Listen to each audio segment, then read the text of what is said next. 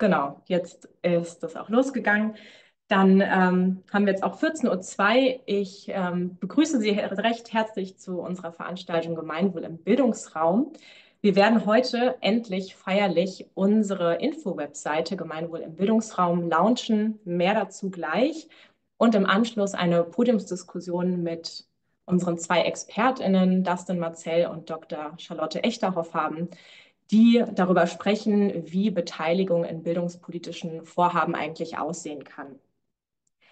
Ja, ähm, die Veranstaltung findet im Rahmen der Netzpolitik und Demokratie Aktionstage statt. Das ist eine Veranstaltungsreihe der Landeszentralen für politische Bildung. Und auch an dieser Stelle möchten wir uns recht herzlich bedanken, dass wir ins Veranstaltungsprogramm mit aufgenommen werden wurden und ähm, ja, freuen uns, dass wir da dabei sind. Das ist wirklich eine tolle Reihe. Also gucken Sie da unbedingt noch rein. Die Veranstaltungen finden noch bis Samstag, glaube ich, dieser Woche statt. Da findet unheimlich viel auch online statt. Ähm, genau, alles im Themenbereich Netzpolitik und Demokratie. Sehr empfehlenswert. Genau, im Namen des Bildungsteams äh, oder Team Bildungspolitik und digitales Kulturgut möchte ich Sie, ich bin Ann-Sophie Waag, begrüßen. Ähm, und werde jetzt den ersten Input äh, oder den ersten Teil dieser Veranstaltung übernehmen. Genau, was erwartet Sie heute? Wir haben ein paar kleine Dinge vorbereitet. Wir starten mit einer Einführung, die werde ich übernehmen, ähm, um Ihnen einen Einblick zu geben, was ist eigentlich diese Website, die wir heute launchen, um was geht es da, ähm, was ist mein Bildungsraum, das ist das Projekt, was wir analysiert haben, auch nicht das erste Mal, aber dazu später auch mehr. Und was verstehen wir eigentlich unter Gemeinwohl im digitalen Raum? So ist ja auch unser Titel, Gemeinwohl im Bildungsraum. Dann werden wir die Website launchen. Ich werde dann auch den Link mit Ihnen teilen, dann können Sie sich das auch alles nochmal viel detaillierter angucken. Und im Anschluss ähm, freue ich mich, dass wir eben die Diskussion mit zwei unserer ExpertInnen haben, die uns in diesem Prozess intensiv begleitet haben. Und das Ganze wird von meiner Kollegin Caroline Boos moderiert. Bevor ich damit starte, weil ich nicht weiß, ob alle von Ihnen schon wissen, wer oder was eigentlich Wikimedia ist, also ähm, die Organisation, die hinter uns steht. Ein paar Worte noch dazu. Wikimedia wurde vor 20 Jahren, also wir haben Jubiläum dieses Jahr gefeiert, als Förderverein der Wikipedia, der deutschsprachigen Wikipedia gegründet und wir sind ein Verein, der sich für die Förderung des freien Wissens einsetzt aus unserer Historie kommt, dass wir eben als Förderverein der Wikipedia gegründet worden sind, ist ein zentrales Thema, mit dem wir uns beschäftigen, das digitale Ehrenamt. Ähm, wir unterstützen sowohl die Ehrenamtlichen, die in den verschiedenen Wikimedia-Projekten arbeiten. Es gibt ja neben der Wikipedia auch noch Wikidata oder Wikimedia Commons. Ähm, und wir setzen uns aber auch politisch dafür ein, dass das digitale Ehrenamt mehr Anerkennung bekommt und mehr Unterstützung. Ein zweiter großer Pfeiler oder Block unserer Arbeit ist die Kooperation mit öffentlichen Institutionen, mit Kulturinstitutionen, mit Gedächtnisinstitutionen, mit Bildungsinstitutionen, aber auch mit öffentlicher Verwaltung beispielsweise. Und das Dritte, das ist quasi eigentlich so unser, unser Dach, unter dem wir zusammenkommen, ist der, die Arbeit an für den Erhalt eines gemeinwohlorientierten Internets und dem freien Zugang zu Inhalten im Netz.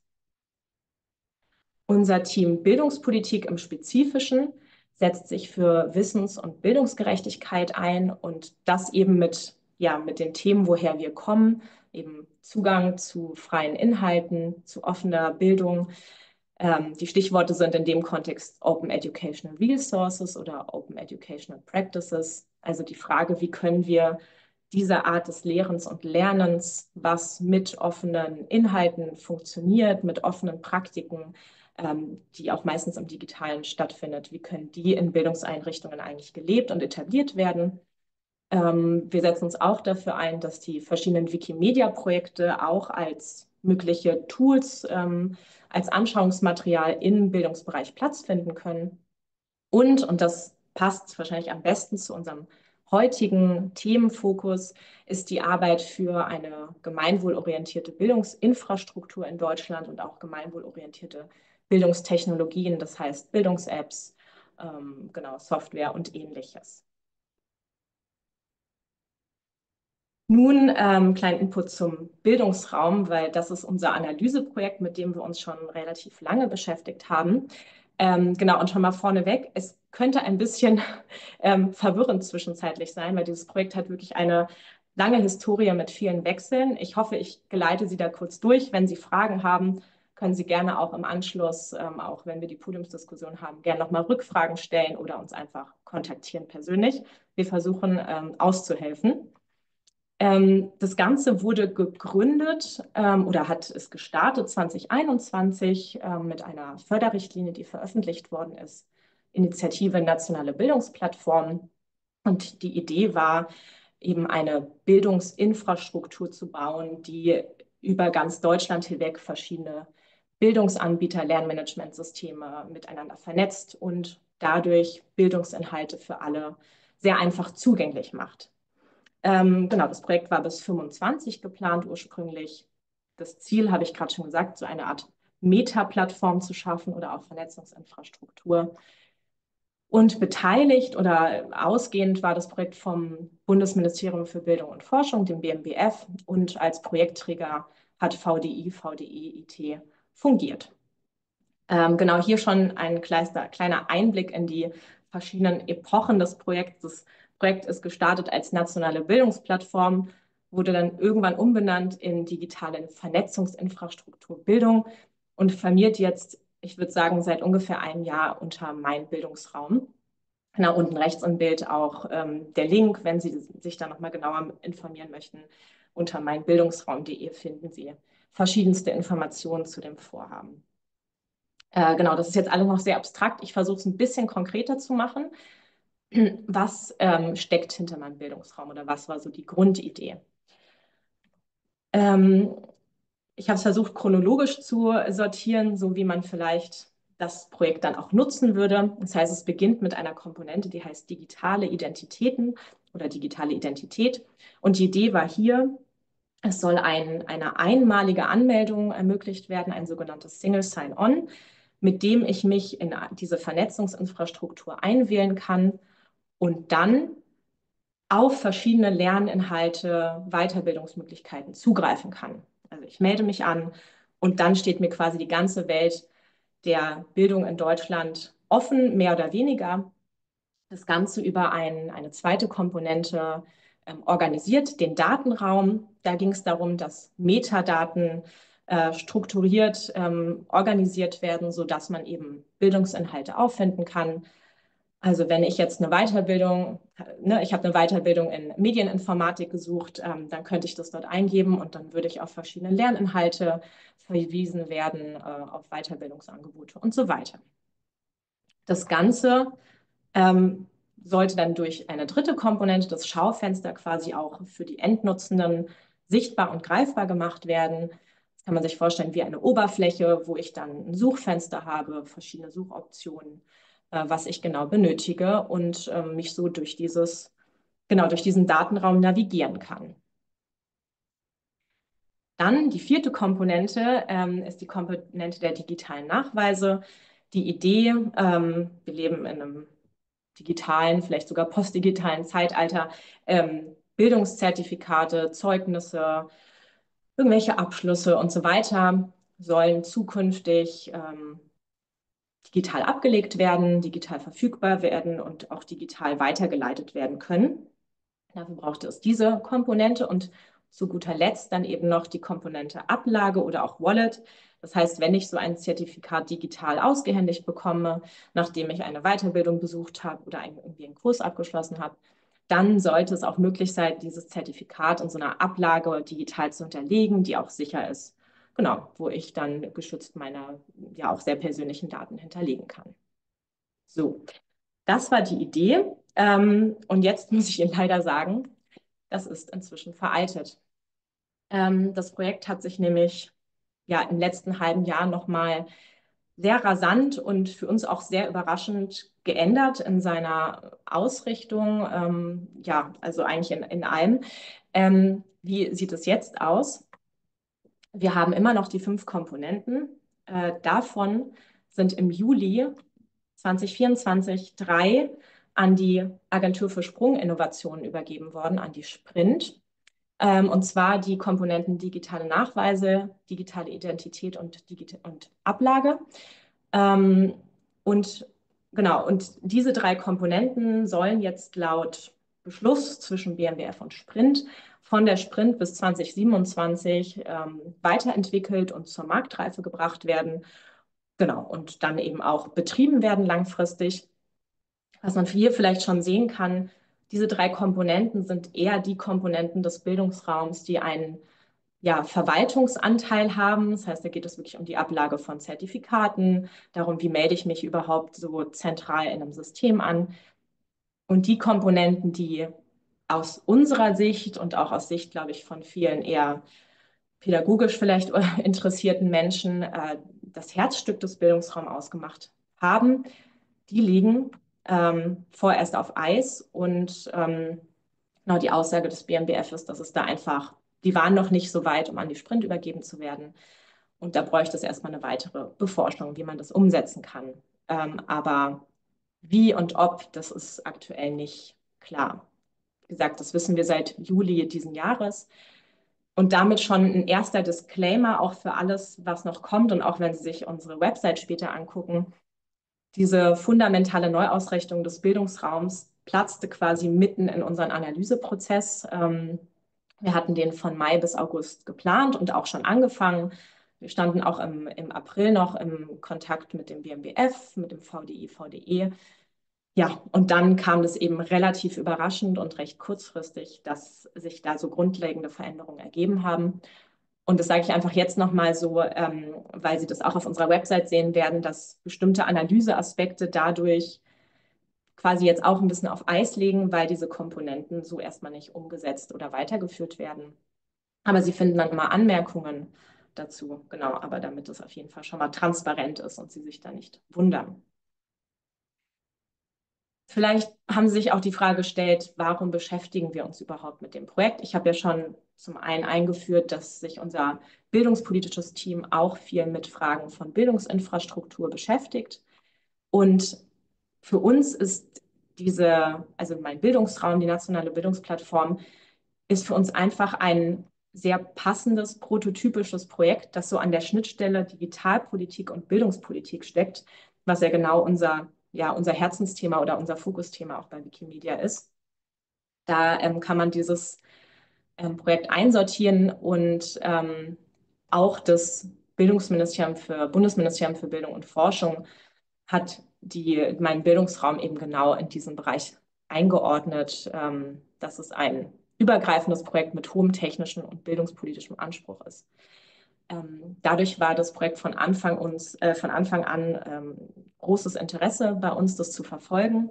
Auch weil wir früh gemerkt haben, also auch nach der Ausschreibung 2021, dass obwohl das Projekt mit über 600 Millionen Euro hinterlegt war, also wirklich einer für den Bildungsbereich wahnsinnig großen Summe, es gar nicht entsprechende Aufmerksamkeit bekommen hat.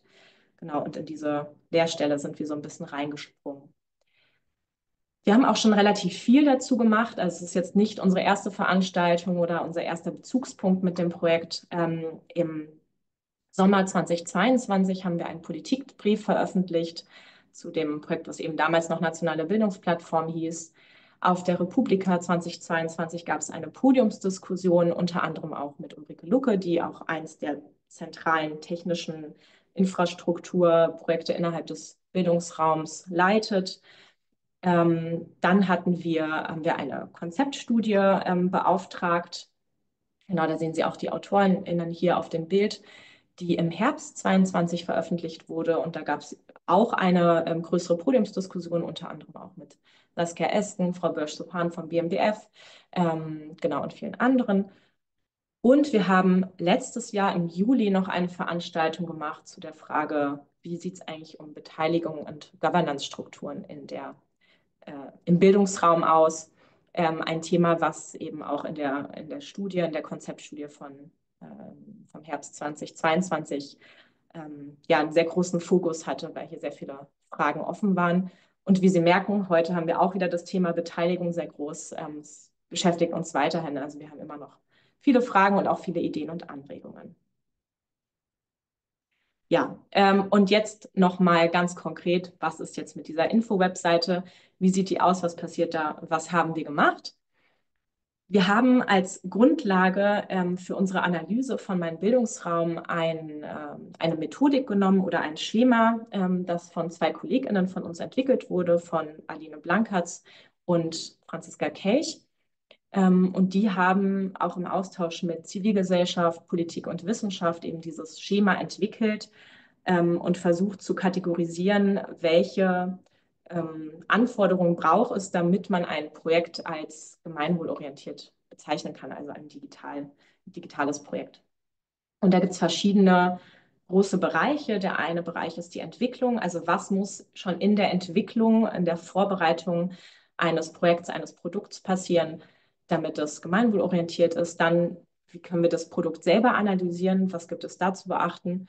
Und dann auch ganz wichtig, das wird manchmal vergessen, die Weiterentwicklung des Produkts. Also die allermeisten, auch gerade digitalen Produkte, werden ja nicht entwickelt und stehen dann da und bleiben und verändern sich nicht mehr, sondern die müssen angepasst werden. Es ergeben sich Neuerungen. Ich meine, das haben jetzt alle mitbekommen. Generative KI, was macht das mit diesen ganzen Projekten? Also da braucht es irgendwie einen Prozess, wie so etwas gut weiterentwickelt wird. Ähm, genau, und da gibt es eben diese verschiedenen Anforderungen im Bereich der Entwicklung. Ist ein, äh, genau, ist die erste Anforderung die Transparenz. Also, ähm, dass man von außen als nicht beteiligte Person nachvollziehen kann, was ist das Ziel des Projekts, warum wurde es durchgeführt, wer ist da eigentlich mit drin, wer hat da welche Entscheidung. Das muss nachvollziehbar sein für die Gesellschaft. Und es müssen die relevanten Stakeholder beteiligt werden jetzt im Sinne, oder wenn wir jetzt auf den Bildungsraum gucken, ging es hier zum Beispiel darum, dass man eben Lehrende und Lernende involviert, aber auch zum Beispiel die ProduktentwicklerInnen, die das Ganze umsetzen, ähm, Stakeholder aus Wissenschaft, Zivilgesellschaft und auch Politik. Wenn wir das Produkt selber angucken, dann ist ein Aspekt, der, der den Gemeinwohlanforderungskriterien entspricht, die Offenheit. Also, dass das Produkt, das digitale Produkt selber offen ist, dass es unter freien Lizenzen steht, dass es eben auch wieder transparent ist, von außen prüfbar und weiterentwickelbar dass Zugang sichergestellt wird, also Zugang für alle Menschen, die dieses Produkt nutzen sollen. Ähm, Im Bildungskontext eben ja, Menschen mit unterschiedlichen Bildungsabschlüssen, Menschen unterschiedlichen Alters, Menschen mit unterschiedlichen Fähigkeiten und Möglichkeiten. Das muss sichergestellt werden bei so einem Projekt. Auch wichtig ist, äh, dass das Projekt nicht ähm, Ungleichheiten noch verstärkt, sondern dass es darauf aus ist, die Ungleichheiten zu verringern oder eben Gleichheit herzustellen. Also im Kontext von Bildung eben auch Chancengerechtigkeit fördert und hier nicht noch stärker Digital Divides und ähnliches mit reinbringt.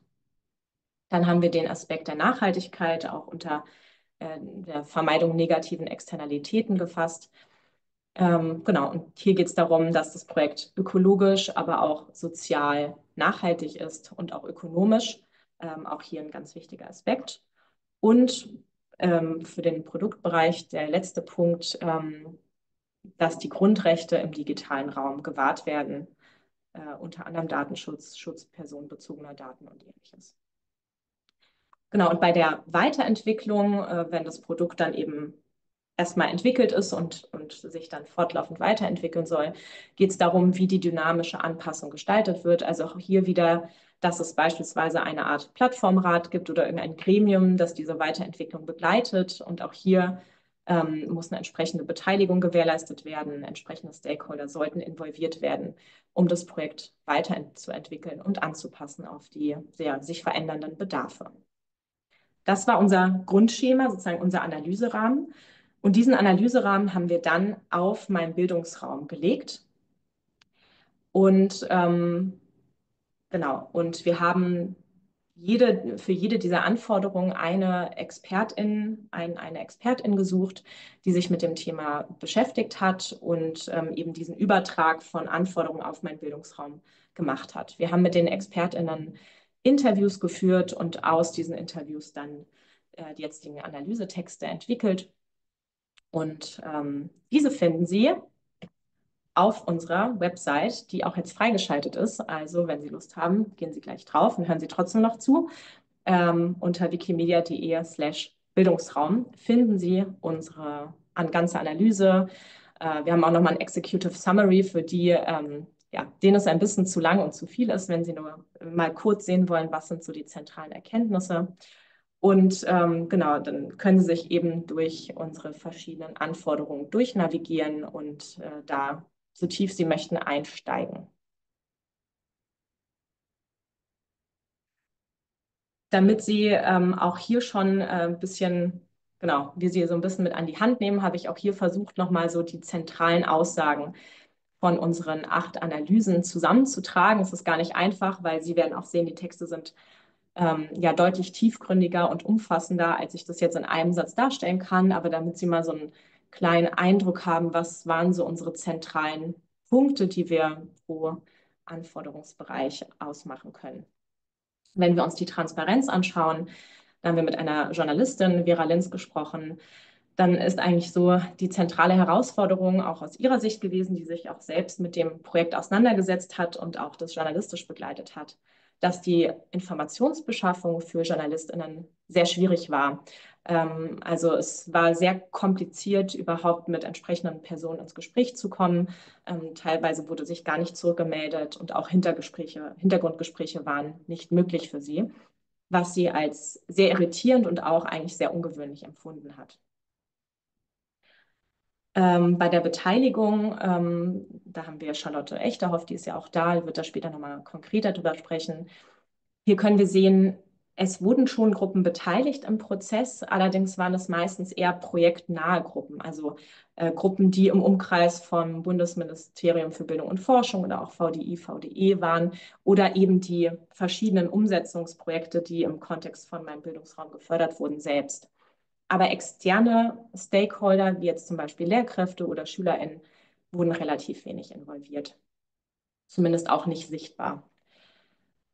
Dann haben wir einen zweiten Punkt, die Sicherstellung von Zugang. Äh, da wird das dann Marcel auch nachher ja nochmal drauf eingehen. Also wie sieht es eigentlich aus? Wie können eigentlich beispielsweise Menschen mit Behinderungen Zugang zu dieser Plattform bekommen, zu meinem Bildungsraum? Und was wir hier sehen, passend zur Beteiligung leider, es wurden gar keine Gruppen von Menschen mit Behinderung involviert. Ähm, hier ist keine Ta Beteiligung erfolgt und ähm, dadurch wurden einfach auch bestimmte Aspekte nicht mitgedacht. Also die, die Website selber ist, ähm, was man bisher sehen kann, barrierefrei ähm, auch die App, die mitentwickelt wurde. Aber es wurde zum Beispiel nicht sichergestellt, dass angebundene Lernmanagementsysteme von außen, ähm, andere Bildungsanbieter, dass die eben auch dann barrierefreie Anwendungen anbieten, die an meinen Bildungsraum angeschlossen werden. Also eine große Schwierigkeit ähm, bezüglich der Offenheit. Ähm, das können Sie auch sehen, das finden Sie auch auf unserer Website. Der Code für die bisherigen Komponenten wurde auf Open Code veröffentlicht, also sind jetzt auch einsehbar unter einer MIT-Lizenz, ähm, was wir ein bisschen kritisch sehen. Allerdings äh, wird gerade noch ausgehandelt und entschieden, wie eine Beteiligung auch hier wieder von einer Community, von einer ähm, Coding-Community beispielsweise erfolgen soll. Also auch da fehlen noch, genau, sind noch einige Fragen offen. Wenn wir uns die, das Thema Ungleichheit verringern angucken, das hat sich Christoph Richter angeschaut, ähm, dann bleiben da verschiedene Fragen offen. Also wer trägt im Endeffekt die Kosten ähm, für verschiedene Bildungsangebote, die mir über die Plattform angeboten werden?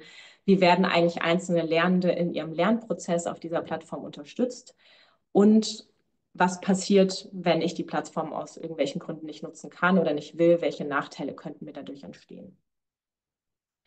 Ähm, bezogen auf die Grundrechte wurde hier nochmal stark von Luzi Neuenhaus von der Gesellschaft für Freiheitsrechte darauf hingewiesen, dass es sehr wichtig ist, dass wir transparente Richtlinien zur Datenverwendung haben und ähm, dass es eben auch Authentifizierungsmechanismen gibt, äh, dass hier auf jeden Fall stark darauf geachtet werden muss, auch in Zukunft bei der Weiterentwicklung. Wenn wir uns äh, mit der Nachhaltigkeit beschäftigen, jetzt äh, speziell der ökologischen Nachhaltigkeit, dann ähm, genau, wurde uns mitgeteilt, dass es keine Nachhaltigkeitsstrategie bislang für das Projekt gibt. Ähm, auch auf Nachfragen haben wir da noch keine weiteren Informationen gefunden. Also auch hier äh, genau, gibt es noch was zu tun. Und der letzte Punkt, die dynamische Anpassung.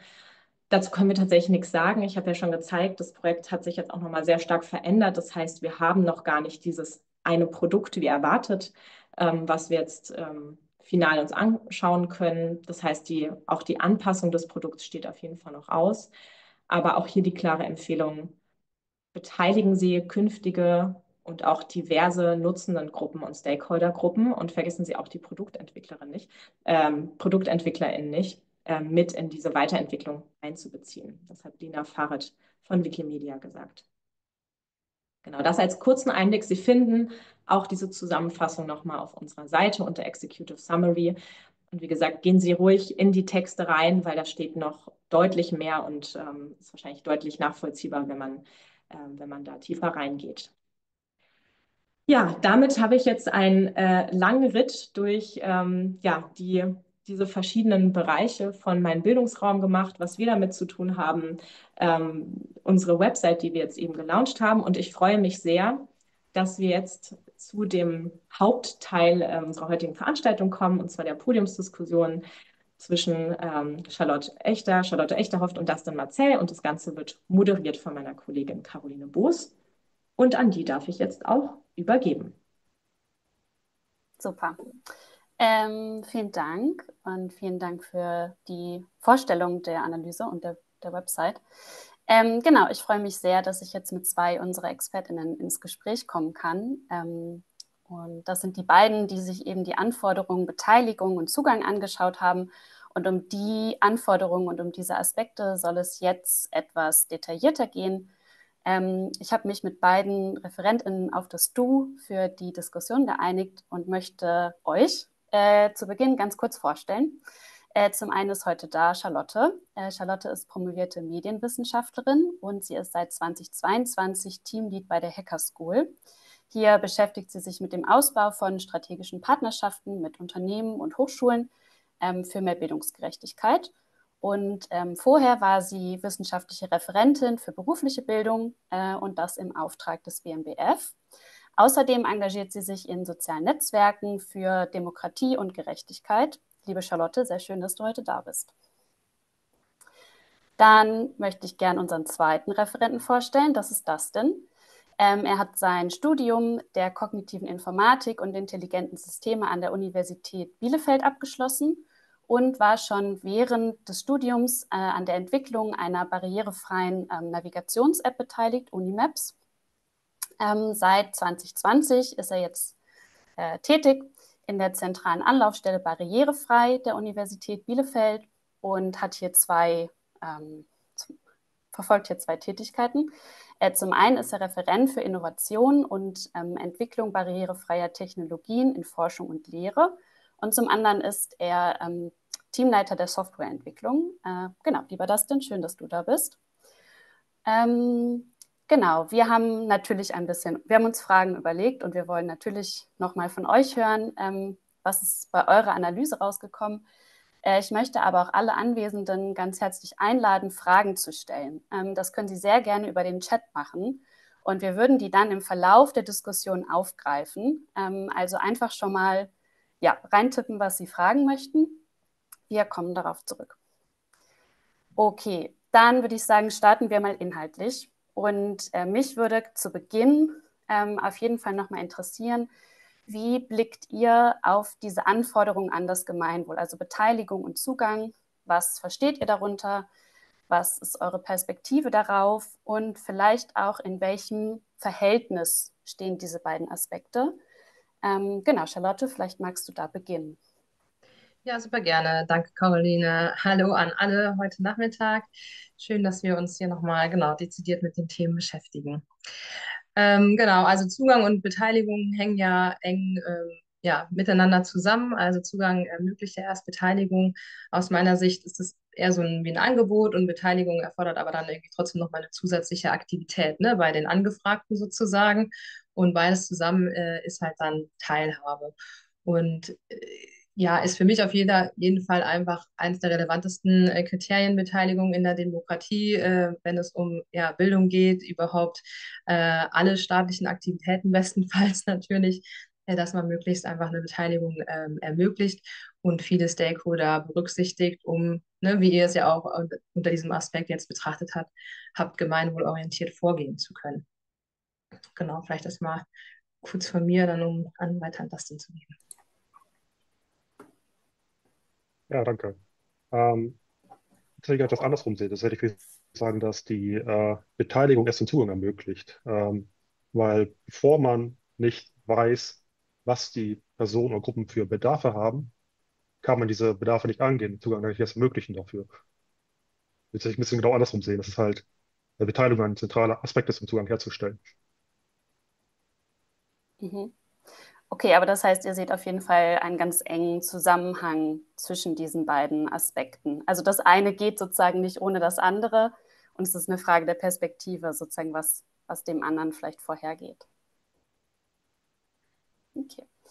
Ähm, vielleicht könnt ihr auch noch mal ähm, ein bisschen darstellen, warum genau ähm, diese beiden Aspekte so wichtig sind. Also zum einen in digitalen Bildungsprojekten. Ähm, ihr könnt auch gerne einen größeren Bogen aufmachen. Ähm, genau, also warum ist das so zentral? Ähm, und welche, auch da, welche Perspektiven gibt es vielleicht noch jenseits des Gemeinwohls? Ähm, gibt es die und wenn ja, welche sind das? Ähm, vielleicht magst du beginnen, Dustin.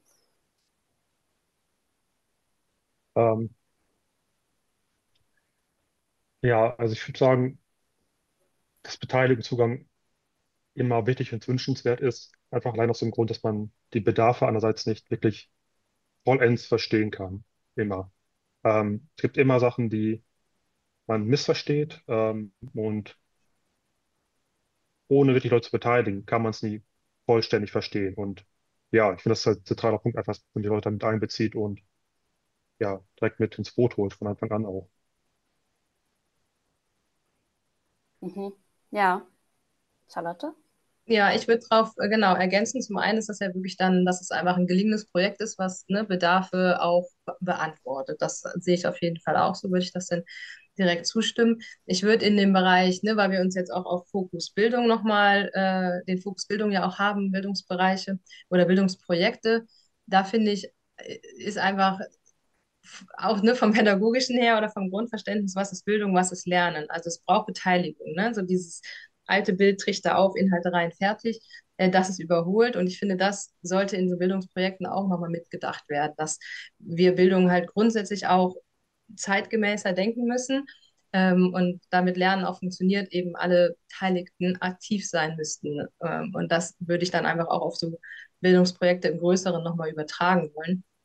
Ähm, weil du auch gesagt hast, ne, nochmal, was gibt es für andere größere Perspektiven, sehe ich schon auch so äh, wie gesagt, erstmal Akzeptanz, Erfolg, Nachhaltigkeit. Also das, ich glaube, ne, so im Sinne von agilem Projektmanagement, wenn man alle beteiligten Stakeholder gut einbezogen hat, dann haben wir halt ein funktionierendes, ähm, funktionierendes ähm, äh, Produkt.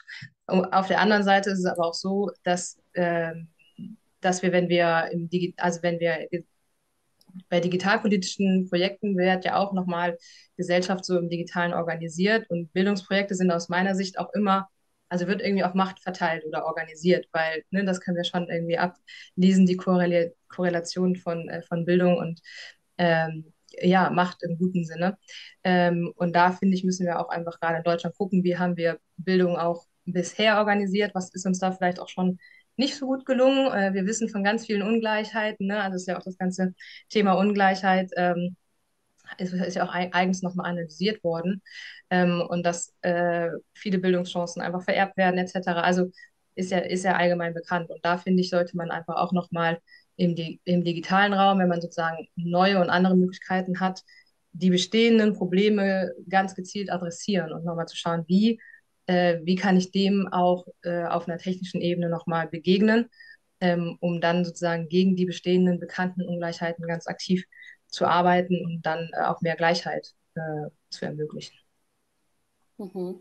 Ja, ähm, das ist uns tatsächlich auch aufgefallen. Ähm, und das hat sich ja schon allein schon bei euren beiden Eingangsaussagen gezeigt, dass die acht Anforderungen an das Gemeinwohl von Wikimedia eigentlich alle miteinander zusammenhängen und auch in Verbindung miteinander stehen. Und das hast du jetzt ja auch gerade nochmal aufgezeigt. Also, dass das eine nicht ohne das andere funktioniert was natürlich die Komplexität erhöht, aber man es sich auch ein bisschen einfach macht, wenn man ähm, das nicht im Gesamtbild sieht. Ähm, okay, das heißt, ich habe so ein bisschen rausgehört, es gibt irgendwie viele Gründe äh, und auch gute Gründe, Beteiligung und Zugang sehr früh in Projekten mitzudenken. Ähm, aber vielleicht könnt ihr noch mal so ein bisschen darstellen aus eurer Sicht, wie ist denn der gesellschaftliche oder der politische oder bildungspolitische Diskurs? Also das, man könnte jetzt ja meinen, es gibt so viele gute Gründe, da sind sich alle einig, ja, los geht's. Ähm, ist das so oder ist das nicht so? Und was hat sich vielleicht aber auch in den letzten ja, Jahren, Jahrzehnten da getan? Ähm, genau, Charlotte, möchtest du noch mal beginnen? Ja, also grundsätzlich, glaube ich, sind sich schon die meisten einig, dass möglichst viele immer einzubeziehen sind. Nun haben wir aber natürlich äh, gerade in Deutschland auch mit dem föderalen äh, Bildungssystem immer eine Herausforderung, wenn wir alle meinen und denken und sagen. Und ähm, ja, äh, sieht man ja auch diverse Projekte, ähm, wo Länder und Bund versuchen zusammenzuarbeiten. Das ist auch immer wieder schwierig. Ähm, ja, mit den Zuständigkeiten, wer fühlt sich für was zuständig äh, oder verantwortlich, was ja dann auch meistens finanzielle Auswirkungen bedeuten kann. Ähm, und da finde ich aber, äh, ist halt, bringt es uns halt nicht weiter, wenn wir so die, die Herausforderungen und das so Being Stuck irgendwie benennt, sondern müssen schon nach vorne gucken und überlegen, wie, wie können wir es trotzdem besser machen. Und da meine ich schon, dass man gerade im Digitalen äh, und mit neuen irgendwie Beteiligungsmöglichkeiten, wo man eben noch mehr auch bei den Endnutzerinnen ist, dass man da schon viel erreichen kann. Und das ist aus meiner Sicht auch gerade so der ja, das gesellschaftliche Diskursrichtung Beteiligung, Zugang. Wir haben ja einfach jetzt in den letzten Jahren schon eine sehr mh, hm, ungemütliche Entwicklung, äh, einfach auch so der äh, gesellschaftlichen, des gesellschaftlichen Zusammenhalts. Und da ist es schon wichtig, dass wir einfach soziale Teilhabe nochmal stärken und auch ne, politische Integration ermöglichen und gerade solche bildungspolitischen Projekte, die mit viel finanziellem Volumen auch ausgestattet sind, das, da, da muss irgendwie dieser Konnex entstehen zwischen Politik und denen, die davon profitieren sollen. Ähm, und also das finde ich wichtig und in dem Bildungsbereich grundsätzlich nochmal ähm, finde ich es auch dann die politische Pflicht, so ne, Filterblasen aufzubrechen. Also das ist vielleicht auch nochmal das Thema ähm, Beteiligung, ne? wer wurde beteiligt. Ich glaube, da sprechen wir gleich im Laufe des äh, Gesprächs nochmal genauer drüber. Aber klar, dass die, die immer was sagen, immer auch nochmal was sagen werden. Aber was kann ich tun, um die zu hören, die sich nicht melden ne? oder die sich typischerweise ähm, auch der Partizipation eher verweigern? Und ich finde, das ist so nochmal eine politische Pflicht, da so ein bisschen aggressiv auch solche Gruppen zu erschließen und, und in den Diskurs und in die Entwicklung äh, mit einzubeziehen, weil das sind ja möglicherweise auch Gruppen, die am meisten ähm, von diesem, von so einem politischen Vorhaben im Bildungsbereich auch profitieren würden. Mhm. Ja, das geht tatsächlich auch schon so ein bisschen in den nächsten Teil ähm, der Diskussion. Aber das denn, vielleicht möchtest du auch noch ähm, ergänzen oder ja, sozusagen. Ja, ich würde vielleicht nochmal genauer zum Zugang Barrierefreiheit ergänzen, weil dort die politische Diskussion sicherlich eher schlecht mangelhaft ist. Ähm, Deutschland wurde erst letztes Jahr wieder von Vereinten Nationen gerügt über das Verhalten, ähm, insbesondere auch für die Förderschulen. Also das Thema Bildung ist dort schlecht gehandhabt. Also vor diesem 14 Seiten Bericht waren 13 Seiten, 13,5 Seiten negativ und eine halbe Seite positiv. Ähm, das heißt, da gibt es tatsächlich viel zu tun, aber der Politik auch wird aktuell meiner Meinung nach zu wenig getan. Ähm, gerade auch wieder Bildung ist Ländersache. Wir haben manche Hochschulen, die zwar Inklusionsmittel haben, aber es ist eher die Ausnahme. Also da ist wirklich ja, viel nachzuholen, meiner Meinung nach, in der Politik zu dem Thema. Mhm. Ähm, hast du denn das, äh, das Gefühl, dass diese Problemlage erkannt und gesehen wird? Meistens nicht. Also man, ich habe da eher das Gefühl, dass halt das Notwendige gemacht wird. Die äh, UNBRK wird versucht zu erfüllen, aber halt auch nicht deutlich mehr. Und man gerade auch international guckt, andere Länder sind da deutlich weiter als wir und das System auch viel offener und präsenter. Genau, es ist sehr schade, aber es ist äh, aktuell meiner Meinung nach der Stand. Mhm. Ähm, es gibt ja auch immer noch, glaube ich, diejenigen, die so ein bisschen ketzerisch gesagt formulieren würden, Beteiligung wäre ja wünschenswert, aber ähm, vielleicht kannst du noch mal so ein bisschen sagen, warum, warum du das, ich würde mal vermuten, etwas anders siehst und was vielleicht auch ähm, Grundlagen dafür sind und auch gesetzliche Grundlagen, ähm, die es dazu gibt. Ja, im Bereich der Barrierefreiheit gibt es zum Glück einige Grundlagen, die das abdecken. Ich habe es gerade schon gesagt, es gibt ja diese UN-Behindertenrechtskonvention, die die EU und damit auch Deutschland äh, unterschrieben hat. die einfach ganz klar auch festlegt, was gemacht werden muss. Ähm, das Ganze gibt es dann auch im Gleichstellungsgesetz in Deutschland. Das hat auch den Staat dazu verpflichtet und öffentliche Institutionen, das umzusetzen. Ähm, und genau, demnächst gibt es auch das Barrierefreiheitsstärkungsgesetz, das auch die große Teile der Industrie verpflichtet dazu. Das heißt, da gibt es jetzt auch ein rechtliche, rechtliches Druckmittel, sage ich mal, die Sachen umzusetzen und auch da die Leute zu beteiligen mit dem Bereich. Aber genau, für die Staatsinstitution gibt es aktuell leider noch kein Durchsetzungsmittel dafür. Aber für die Privatwirtschaft wird es auch Verbandsklagerechte geben, dass auch das dann ja, eingeklagt werden kann. Mhm. Okay, also eine, eigentlich eine, eine gute gesetzliche Grundlage, kann man das so sagen? Es verbessert sich auf jeden Fall. Okay, okay, das ist ja schon mal etwas. Ähm, okay, das soll vielleicht das erstmal so ein bisschen gewesen sein für so einen, den Einstieg in diese Thematik ähm, auf so einer allgemeinen Ebene. Ähm, und ich würde jetzt gerne so ein bisschen stärker reingehen in genau die eure Analysen von meinem Bildungsraum, dass wir so ein bisschen stärker hinkommen zum konkreten Gegenstand. Ähm, genau, und wollte auch nochmal sagen, also wie gesagt, wenn Sie als anwesende Teilnehmende Fragen haben, ähm, stellen Sie die sehr gern. Ähm, wir wollen das ähm, genau sehr gern öffnen, die Diskussion. Ähm, genau, dann mögt ihr vielleicht auch noch mal ähm, ja so ein bisschen darstellen, was was ist euch aufgefallen, als ihr euch meinen Bildungsraum in, im Hinblick auf eben die Anforderungen Beteiligung und Zugang angeschaut habt? Ähm, Ann-Sophie hatte ja schon so ganz kurz skizziert, ähm, genau, was, was Ergebnisse waren, aber vielleicht könnt ihr das nochmal so ein bisschen in euren eigenen Worten sagen. Auch, ähm, hat euch was überrascht oder hat euch das nicht so überrascht? Ähm, das wäre auf jeden Fall ganz spannend. Ähm, genau das denn, vielleicht magst du beginnen. Ja, also im Bereich Zugang, ähm, im Bereich der Barrierefreiheit wurde zwar einiges gemacht, das heißt, diese, die Anwendung selbst ist barrierefrei, die App war auch zum Großteil barrierefrei, bis auf Kleinigkeiten. Ähm, das heißt, da wurde die gesetzliche Anforderung erfüllt, aber es wurde halt nicht darüber hinaus gedacht, zu keinem Zeitpunkt. Das hat man schnell gemerkt. Ähm, es können Schulen oder andere Anbieter halt Dokumente hochladen. Es wird nicht darauf geachtet, ob diese Dokumente barrierefrei sind oder nicht. Das heißt, es wird praktisch wirklich halt bis zum Ende der Plattform gedacht und nicht weiter. Und das ist natürlich sehr schade, weil diese Plattform lebt ja eigentlich davon, dass man gerade Dokumente reinbekommt, dass man Bildungsangebote äh, wahrnimmt und genau diese zentralen Elemente wurden bei BFH komplett nicht bedacht. Äh, das Einzige, was aktuell geplant ist, halt ein optionales Metadatenfeld, ob ein Kurs barrierefrei ist oder nicht, aber es reicht natürlich bei weitem nicht aus, das Ganze abzudecken. Es gibt auch gar keine Verpflichtung dafür. Also das ist äh, sehr kritisch. Das ist, äh, hätte man als Beispiel genannt, das ist selbst wie wenn die Google-Suche barrierefrei ist, aber keine einzige Webseite barrierefrei ist dahinter. Das hilft dann auch nicht weiter. Genau, und hier wäre auch eine Beteiligung natürlich die Lösung gewesen. Man sollte direkt Leute ansprechen, um herauszufinden, was denn die Bedarfe sind, weil also ich, als ich gesehen habe, dass eine PDF irgendwo reinkam, hätte, ich, hätte jeder Person, die in dem Bereich sich auskennt, gesagt, PDF ist Katastrophe, sicherstellen, dass die barrierefrei ist. Das ist direkt der erste Instinkt dabei, aber ja, man sieht direkt, dass keiner beteiligt worden keiner beteiligt wurde, dass halt das nicht auffällt, solche Sachen.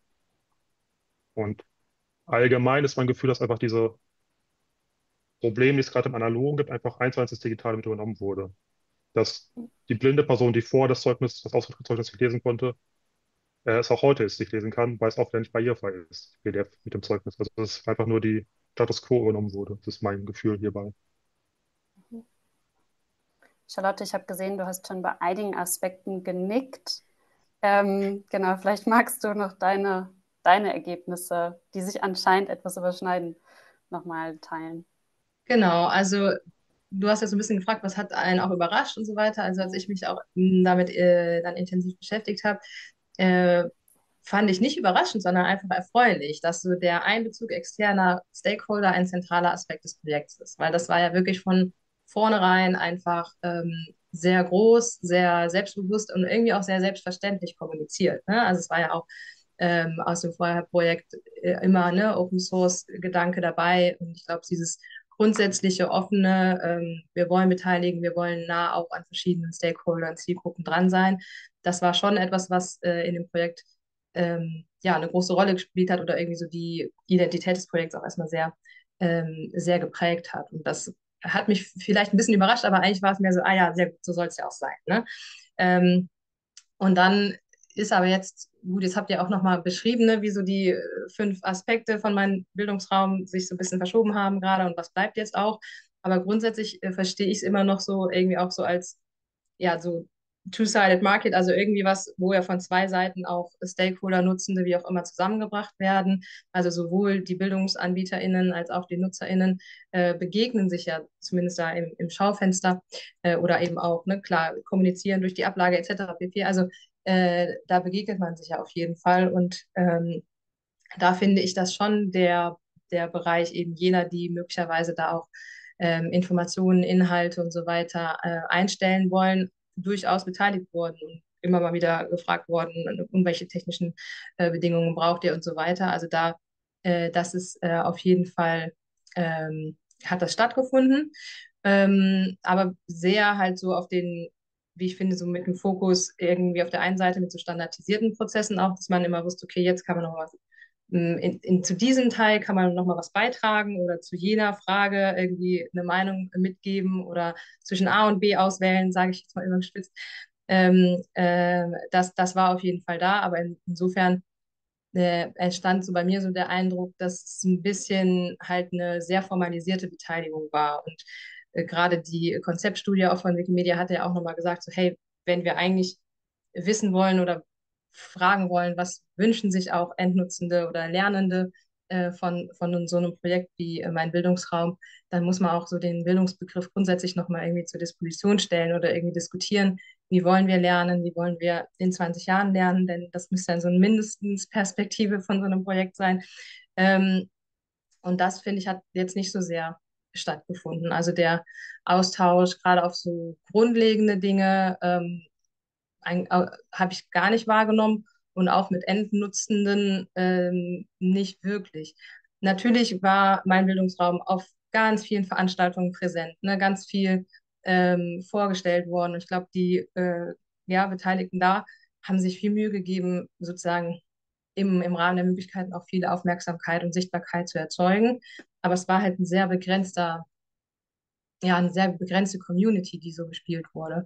Also, ne, ob es jetzt, wie gesagt, wissenschaftliche Fast Fachtagungen bestimmt zu Genüge ähm, und im Gespräch mit, weiß nicht, kommerziellen BildungsanbieterInnen auch, äh, aber wirklich so ein bisschen dahin, wo es nicht, wo es wehtut, aber wo halt irgendwie nochmal echt auch ganz an neue Fragen irgendwie aufkommen wo man bisher noch gar nicht dran gedacht hat. Ähm, ne, in, in die Räume war es, genau, war es halt irgendwie nicht so wirklich ähm, möglich reinzugehen. Also so ein echter Einbezug von Öffentlichkeit und Gesellschaft, von Menschen wie ihr und ich. Also ne, da, da äh, finde ich, ist, ist sehr wenig passiert. Und das, ähm, das finde ich schade, vor allem, weil, ähm, ja, weil schon viel so weiter konstruiert und manifestiert wird, irgendwie, äh, wie wir Bildung und Bildungsbiografien auch denken und uns vorstellen können. Äh, und da, finde ich, wir war schon eine Chance, auch eben im Digitalen was zu bauen, was wir im Analogen irgendwie nicht haben und auch nicht kriegen werden, würde ich jetzt mal ketzerisch sagen. Und äh, wo vielleicht schon eine Möglichkeit gewesen äh, wäre, äh, einfach mal ein anderes ja, Konstrukt zu, zu bauen. Und das finde ich ist nicht, ist nicht passiert. Ähm, und um auch nochmal, ich hatte vorhin gesagt, so, ich finde es ein bisschen ja, politische Pflicht irgendwie dann auch ähm, ja, Leute, die davon profitieren sollen, jetzt freut euch doch bitte, äh, die auch einzubeziehen. Und da muss man halt manchmal nochmal extra Wege laufen. Ne? Und da finde ich, es wurden halt in dem Sinne keine neuen Räume aufgebrochen und nicht so aktiv Zugänge gebaut. Ja, also es, ich sag mal so, es wurden keine neuen Straßen gebaut, damit alle kommen von überall, um mir Bescheid zu sagen, sondern es war halt die Beteiligung von den alten Bekannten, die den Weg schon kennen ne? und die dann sagen, ja, ich finde aber so und ich finde aber so. Und natürlich am Ende gab es die Closed-Beta-Phase und jeder hätte sich beteiligen können, aber wenn niemand Bescheid weiß, dann beteiligt sich auch keiner. Also das ist ja dann auch nochmal so Thema Sichtbarkeit und äh, wirklich Marketing, Öffentlichkeitsarbeit. Wie viel äh, will man da wirklich auch, will man da auch wirklich geben? Super, vielen Dank. Möchtest du da noch was ergänzen, Dustin, oder noch irgendwie einen Gedanken dazu? Oder ich fand das sehr gut so. Okay.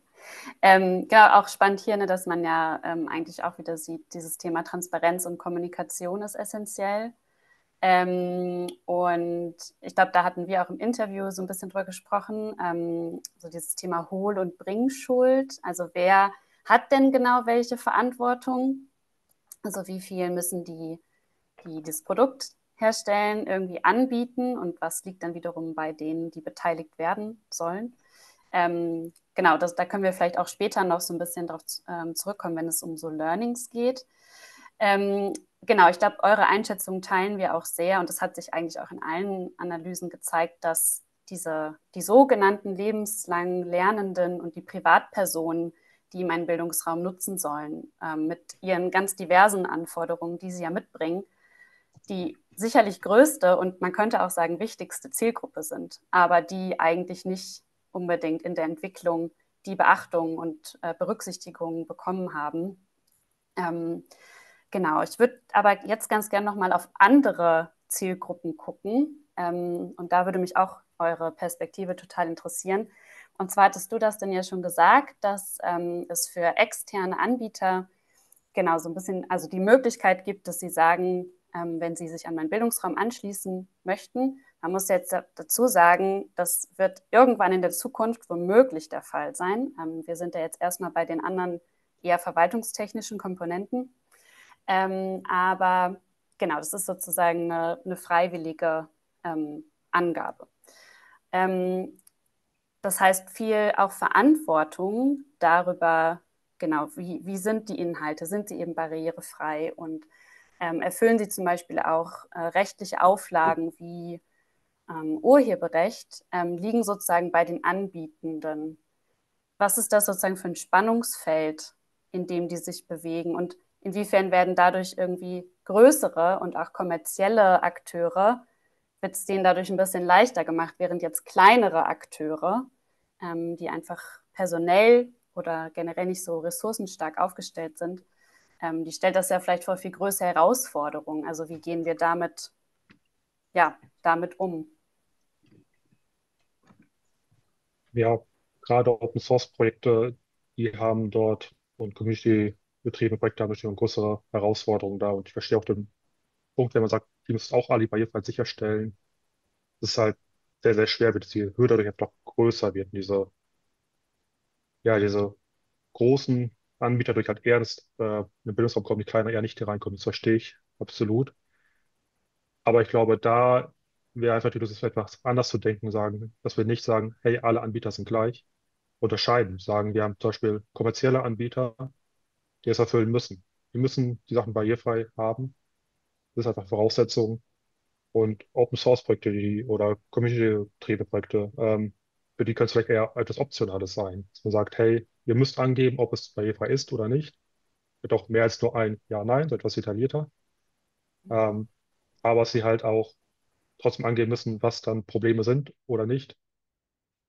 Und um dieses Spannungsfeld aufzumachen, wäre wieder eine Beteiligung gut gewesen. Man sagte, gesagt hätte, hey, wir sprechen mit den Nutzern, was denn ihre Bedarfe sind. Bringen vielleicht mal den Nutzer und die Anbieter zusammen, zu gucken, was man dort machen könnte überhaupt. Weil aktuell ist es ja so, dass die großen Anbieter gut hereinkommen in das in den Bildungsraum, aber die kleineren halt vor diese Hürden gestellt werden und die Barrierefreiheit halt gar nicht bedacht wurde. Also ähm, aktuell profitieren, glaube ich, gerade nur die großen Anbieter davon und kleineren und die Nutzer gar nicht. Ähm, ja, und deswegen auch hier wieder Austausch zwischen allen Beteiligten essentiell und wichtig gewesen, Meinung nach. Mhm. Ich würde gerne noch ergänzen, ähm, also ich kann total gut nachvollziehen lassen, was du sagst ne, und denke auch, man muss nicht alles gleich behandeln, vor allem nicht das, was ungleich ist. Ähm, würde sozusagen eigentlich noch einen draufsetzen im Sinne von, wenn ne, es vom BMBF ja der Wunsch ist, dass da wirklich eine möglichst diverse Bildungs, ähm, äh, ja, Bildungsangebote herrschen, dann würde ich doch sagen, alle, ne, die in diesem Bereich sind und es nicht von alleine leisten können, die kriegen das sozusagen von uns noch erarbeitet. Also dass man da einfach aus BMWF-Seite einfach sagt, das ist dann unsere Dienstleistung. Wir möchten für die Endnutzenden äh, möglichst äh, in allen Bereichen auch ähm, Beteiligung ermöglichen oder ne, einfach auch Menschen mit äh, Beeinträchtigungen da mitdenken und äh, nicht ausschließen. Und dann ist es vielleicht auch unsere Herausforderung oder Aufgabe, ähm, das mit herzustellen. Hm, ja. Ähm, tatsächlich würde ich noch auf eine weitere, ähm, ich weiß nicht, ob ich Zielgruppe sagen würde, aber es ist auch vielleicht ein Stakeholder einnehme. Und zwar hat ja äh, Lina Farid, die ist auch Mitarbeiterin bei Wikimedia Deutschland, ähm, ist hier Produktentwicklerin, ähm, hatte darauf hingewiesen, dass gerade in der gemeinschaftlichen Erneuerung und äh, Weiterentwicklung die ProduktentwicklerInnen auch mit einbezogen werden müssen. Das ist vielleicht jetzt nicht die, die, die Gruppe, an die man als erstes denkt, aber da würde mich auch noch mal interessieren, vor allen Dingen von dir, Dustin, ähm, auch als Teamleiter der Softwareentwicklung, ähm, vielleicht eher so mit der Brille auf, ähm, wie du diesen Aspekt siehst. Also welche, genau, wie muss diese Gruppe ähm, ja, einbezogen werden? Genau, also ja, ich bin auch selber Softwareentwickler und ich kann sagen, es ist auch sehr essentiell, dass auch die Entwickler ein, äh, mit einbezogen werden. Ähm, einfach weil es für Nicht-Entwickler oftmals sehr schwer ist, Entwicklerprobleme zu verstehen und andersrum genauso. Ähm, wenn es jetzt ein letztes ein Projekt gab, wo dann auch dann die Nicht-Entwickler eine Anforderung meinten, wir brauchen jetzt dieses ein Beispiel-Ding. Und wir meinten, ja, wir können eins machen oder eine Million. Also es ist halt, ist der gleiche Aufwand. Das ist, weil es was schnell verarbeitet wird. Ist natürlich einfach erstmal schwer für Nicht-Entwickler zu verstehen, dass es halt alles gibt oder gar nichts. Ähm, und deswegen ist es einfach essentiell wichtig, dass man die Entwickler auch von Anfang an mit einbezieht und auch ja, der Perspektive noch vor allem auch Hindernisse zu verstehen, die vielleicht für einen selber gar nicht da sind, wenn man es erstmal darüber spricht. Deswegen sollte man meiner Meinung nach Entwickler von Anfang an bis Ende mit einbeziehen und auch einfach die Fortbestand zu sichern, dass es eine robuste Angelegenheit wird, dass halt da nicht in drei Jahren alles dann nicht mehr wartbar ist und diesen Problem erzeugt, sondern einfach fortbesteht und nachhaltig bleibt. Deswegen, meiner Meinung nach, sollte Entwickler auch von Anfang an ganzen Prozess mit einbezogen sein. Mhm ich, ich finde es auch nochmal, ne, Stichwort Beteiligung und äh, Bedarfe analysieren, total relevant, dass man da möglichst früh in einem offenen Diskurs ist, weil es werden Bedarfe kommuniziert und dann auch einfach von EntwicklerInnen zu hören, äh, so und Grenzen auf, zu, sich aufzeigen zu lassen. So, das kann ich beantworten äh, und das aber vielleicht nicht. Oder hier ist mein Produkt gar nicht geeignet oder hier gibt es keine technische Lösung. Also das finde ich, wäre auch nochmal ein spannender Diskurs gewesen. Wie gesagt, grundsätzlich auch auf einer, auf so einer Metaebene weil Ziel war, irgendwie Zugang zur Bildung vereinfachen, ist jetzt immer noch die Frage, ob das dadurch, dass man seine Zertifikate besser hoch- und uploaden kann, dadurch äh, äh, ermöglicht wurde oder ob wir halt irgendwie eigentlich was ganz anderes hätten machen müssen. Und auch, ich finde in dem Zusammenhang halt auch dieser, ist jetzt so versucht worden, möglichst die verschiedenen Bildungsbereiche zu verbinden. Aber damit ist immer noch so die, die Trennung manifestiert und das sind immer noch so als, als getrennte Säulen definiert und begriffen. Und unsere Aufgabe ist aber jetzt irgendwie da, das alles einzubeziehen, ne? anstatt wirklich nochmal so den Schritt äh, disruptiver zu denken und zu sagen, okay, wie, wie kriegen wir die Säulen aufgebrochen? Mhm. Gut, aber das, ja.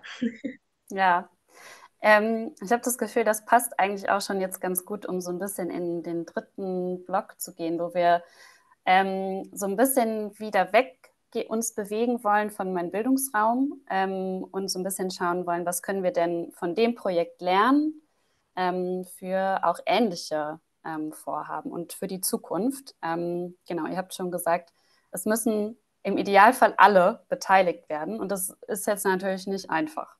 Deswegen, ähm, genau, würde ich gerne so ein bisschen darüber sprechen, wie können wir das denn machen und wie kann das gewährleistet werden, so dass es auch wirksam ist. Ähm, das ist ja, glaube ich, auch ein ganz wichtiger Aspekt dabei. Ähm, genau, deswegen wäre vielleicht meine erste Frage, ab wann oder zu welchen Anlässen oder Zeitpunkten kann beteiligt werden? Und genau, vielleicht können wir versuchen, ähm, genau, möglichst konkret oder praktisch. Vielleicht habt ihr auch Beispiele, ähm, genau, dass wir auf der Ebene so ein bisschen darüber sprechen. Möchte jemand anfangen? Ja, also ich würde weiterhin dabei bleiben, dass ich halt sage, natürlich so früh wie möglich, möglichst viele, klar. Aber ähm, wissen wir auch und ähm, möchte ich jetzt auch nicht äh, von der Hand weisen, dass es manchmal Menschen gibt, die sich auch sehr intensiv mit Fragestellungen schon behandelt haben und man nicht ne, bei Null anfangen muss in, in solchen Diskussionen und man sich da auch manchmal vielleicht denkt, Mensch, das hat uns jetzt wieder aufgehalten. Okay, ähm, aber da würde ich deswegen im Zweifel, wenn man sagt, okay, schaffen wir eh nicht, ähm, dann würde ich halt eher auf die das Augenmerk halten, die bisher halt benachteiligt sind oder nicht so von sich alleine, wie gesagt, einbringen würden. Ja, also dass man da nochmal guckt, auch diejenigen, die am meisten irgendwie von dem Ergebnis profitieren, äh, wie kann ich die noch überzeugen, sich zu beteiligen. Ne? Also die, die am meisten gewinnen würden, sollten halt auch äh, gehört werden, ähm, weil für die am meisten das Produkt ja gemacht ist. Also das, das fände ich dann, wäre so ein Fokus, wo man nochmal gucken kann, wo möchte man vielleicht ein Augenmerk ähm, drauf.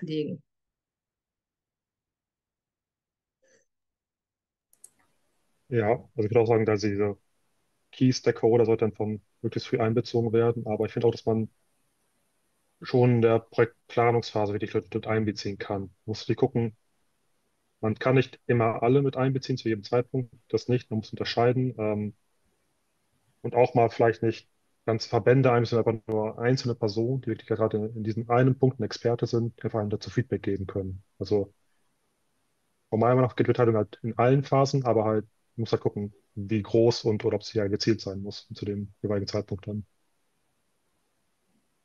Ja. Ähm, ich hatte auch, oh ja. Sorry, vielleicht kann ich mich kurz einschalten. Es kam nämlich vorhin äh, eine Frage rein, die vielleicht hier ganz gut passt. Ähm, wie könnte man denn mehr Sichtbarkeit herstellen? Oder also wie, ne, wie findet man denn, man denn diese Personen oder jetzt so ein Bundesministerium für Bildung und Forschung? Was hättet ihr da für Vorschläge?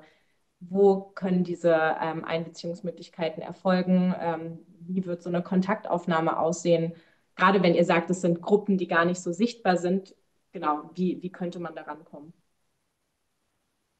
Also ich finde äh, Bundesministerium für Forschung auf jeden Fall zum einen. Also da gibt es äh, schon mal äh, im Moment einen Minister, ähm, aber Menschen, die sich äh, politisch ja irgendwie dafür äh, damit dafür also die identifizierbar sind ähm, und die man wirklich auf so einer persönlichen Kommunikationsebene, ich denke da natürlich am Anfang bei, Tech, bei, bei digitalen Vorhaben immer erstmal in Richtung Social Media, da tut sich ja viel gerade und ich finde, da kann man durchaus mal so ein paar BildungspolitikerInnen, die vielleicht auch im Ausschuss sich mal zu dem Thema irgendwie äh, ausgesprochen haben, denen mal äh, empfehlen, eine Story zu machen. Und ich glaube schon, dass man da einfach relativ äh, interessanten ähm, Informationen erhält.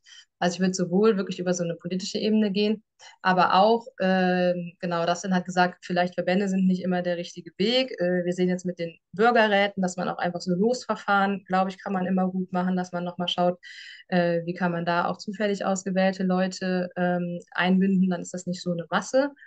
Und ähm, zu, zum anderen habe ich äh, auch mich gedacht, inwiefern werden denn zum Beispiel so ähm, Schülervertretungen. Ne? Gibt es ja in jedem Land und äh, auf, auf allen Ebenen. Ähm, wie sind die denn? Hätte man auch da einfach mal fragen können drauf zugehen können. Oder Elternvertretungen. Also es gibt ja verschiedene Vertretungen, allerdings keine von den lebenslang Lernenden. Ähm, und ich habe auch ChatGPT gefragt, ob die äh, Schülervertreterinnen befragt wurden und einbezogen wurden bei meinem Bildungsraum. Und die Antwort war ganz süß, weil es hieß dann, naja, ich habe dazu nichts gefunden, aber da Beteiligung von externen äh, ne, oder Beteiligung insgesamt ja ein sehr wichtiges ähm, Feld war für dieses Projekt, ist schon davon auszugehen, dass das passiert ist. Ähm, und das, das finde ich ganz süß, weil äh, genau, weil dann sind wir wieder so mit der künstlichen und menschlichen Intelligenz ganz nah. So, ja, natürlich hätte das passieren müssen. Das ist so naheliegend. Ähm, aber meiner Kenntnis nach ist, ist sowas nicht passiert. Ähm, und das wäre aber ne, zum Beispiel jetzt einfach so eine, so eine Idee, wo man einfach mal was, was machen könnte. Möchtest du dazu auch noch, Dustin? Äh, ja, ich fand das Beispiel gerade sehr schön, also mit ChatGPT. Mhm. Ähm, genau, ähm, genau, du meinst gerade schon Verbände, ist eine Möglichkeit, aber klar, je kleiner die Gruppe ist und je, sag mal, nicht organisiert die Gruppe ist, äh, ist natürlich immer schwieriger, Leute zu finden. Ähm, aber auch da würde ich glaube auch über Richtung Social Media und auch einfach Aktivisten ansprechen. Es gibt für sehr viele Sachen Aktivisten, und die haben auch die Connections. Die wissen auch aus anderen Bereichen, wer dort relevante Player sind, die auch da kommunizieren wollen, das Ganze auch mittragen wollen. Also da tatsächlich auch sehr viel über die Aktivisten in den Bereichen gehen. Mhm. Ja, und vielleicht auch ergänzend zu dem, was ich gesagt habe, ähm, auch ne, im Bereich InfluencerInnen, also gibt es ja auch BildungsinfluencerInnen äh, en masse, wo man auch nochmal hingehen kann, gucken kann, wen kriegen wir denn da nochmal. Einfach um die Message zu streuen, jetzt könnt ihr euch gerade einbringen. Ne? Und äh, klar, wenn dann ein Prozent irgendwie mitmacht, das reicht ja in der Regel, um dann doch ähm, ja, irgendwie eine größere Gruppe äh, zusammen zu haben. Hm. Also ich höre so ein bisschen raus, ähm, auch sehr neugierig, einfach mal zu schauen, wen, wen gibt es und was, was haben diese Menschen zu sagen. Und da auch sich so ein bisschen so Schneeballsystem oder nee, vielleicht eher so netzwerkartig vorzutasten. Ist das, passt das? Ja. Ja, oder auch wirklich ja. total systematisch, also in alle ähm, Referendariatsausbildungen, also wo gerade irgendwie Lehrkräfte ausgebildet werden, die halt die nächsten 40 bis 50 Jahre da das Bildungssystem mitgestalten oder äh, VHS mit einzubinden und sagen, schreibt mal alle eure äh, Mitglieder oder äh, ne, KundInnen an. Also man kann da, finde ich, auch sehr systematisch sich überlegen, wer ist denn mein, mein Multiplikator, der irgendwie die Info durchgibt. Da würde ich, ähm, also das, das, das muss gar nicht so nur zufällig und neugierig sein. Ich finde, da könnte man auch, auch sehr systematisch sich überlegen, wen man, ein, also ja, welche Player, Player man sich äh, ergänzend zur Seite holen kann. Ich glaube, es gibt noch eine weitere Frage im Chat an Sophie. Genau, wenn das in Ordnung ist, dann, dann streue ich die erstmal rein. Das ist nämlich eine sehr große Frage, aber ähm, genau, vielleicht äh, wollt ihr da mal ein bisschen gemeinsam brainstormen.